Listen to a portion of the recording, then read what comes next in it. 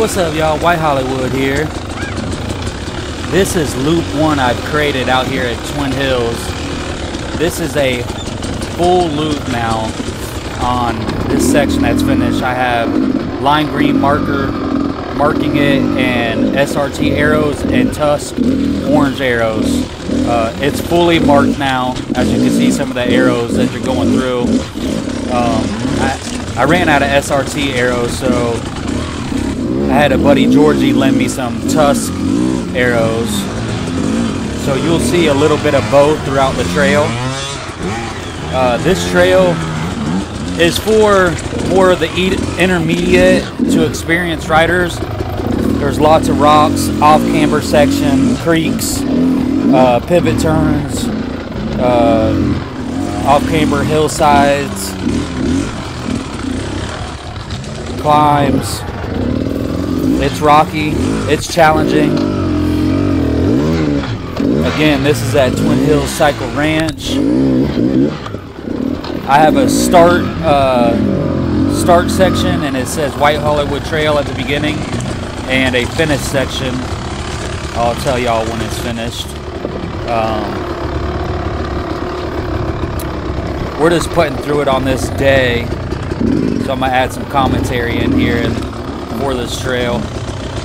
There's a couple little tricky sections that if you don't know where to go, but it's marked pretty well now. You should be able to figure it out. If you ever want to come out and ride with me, and uh, I'll take you through the trail so you know how to follow the loop, holler at me. I'll take you on a ride. Uh, I got a couple guys behind me today. We're just kind of cruising through it. Excuse my hanging idle on my bike. Uh, I later adjusted my air fuel screw. I had it adjusted for real hot temps and it cooled off this day, so excuse that. I later fixed it. It was real muddy in this section, so we kind of went, we still went through it, but uh, this is one of the other creeks right here.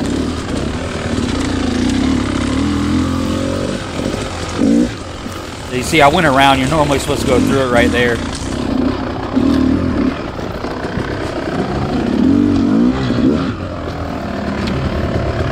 Watch your head on that tree right there. it's a cool little section though.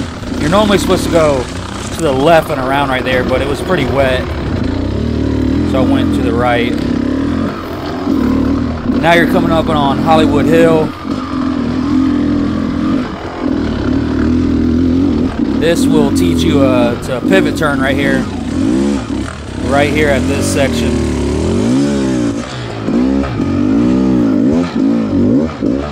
I didn't do it very well today on this one.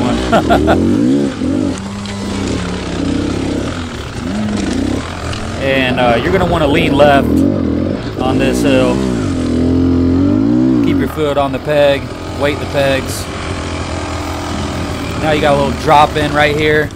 This has became a lot easier as you'll see the, the rocks are pushed down to the right. Before it was real rocky. And then you're gonna go back up the hill right here. I cut all this out so it was rideable. I spent tons of time, y'all, on this trail. It's not a very long trail. It's only a little over, a little under three miles, I, I want to say. Maybe like two and a half. I have to uh, go out and record and see how long it is.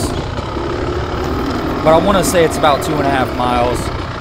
Not very long, but more challenging than anything.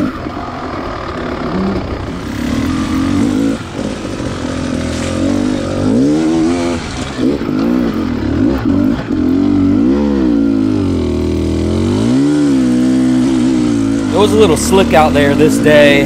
We just got some rain. Uh, so just trying to hold the hold the traction there and lug it through everything to keep traction.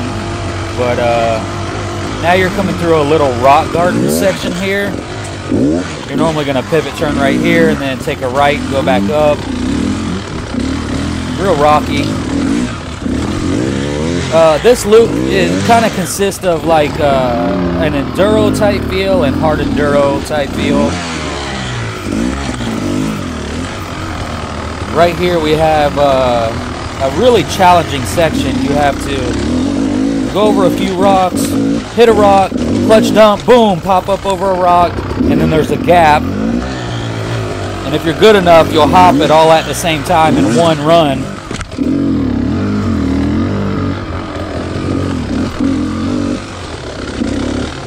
This is a little trial section over here. People playing the rocks.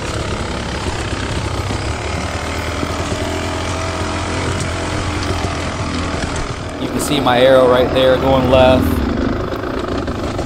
I always tend to miss this turn. I always miss that damn turn. There's actually there isn't actually a turn. You just keep going straight. Follow the arrow. Follow the line green marker.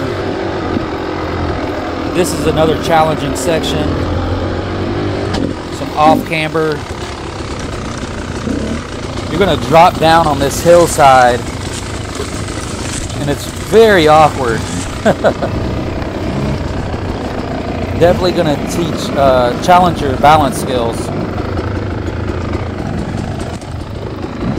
You're gonna wanna hug right on this hill. Now you're side hilling, going across. I, I cut all this out too. This is all new.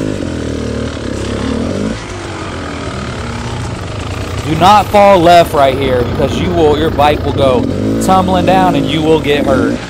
So be careful going through there. Right after that we have a, another drop down into a creek bed.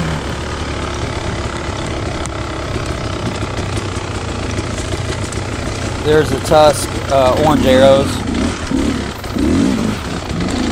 I'm to cross over the yellow trail right here and go back up. Going to drop back down in to the creek. In between these trees, which is really tricky. it's starting to get easier as the line gets burnt in. Everything kind of burnt in. There's a trail now. You can actually see the burnt in line. We're going to cut down into this creek to the left and come out. You see the lime green arrow. You'll see a tusk arrow going straight.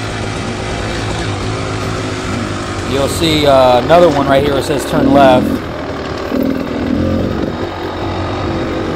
Right here, be a little careful. You're crossing over a trail section. You're going in. You're going to go up this hill, climb,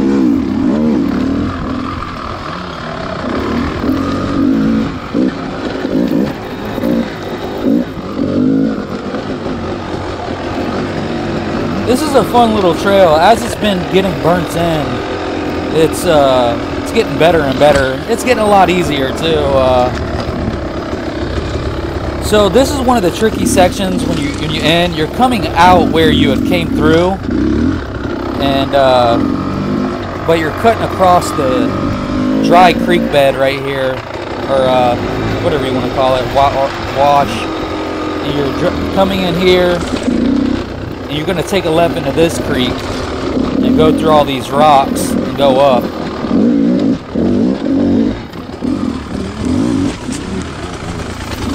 And here's the finish. You'll see, there's the finish right there. You'll come out. Pretty easy to follow now. Enjoy the trail, y'all.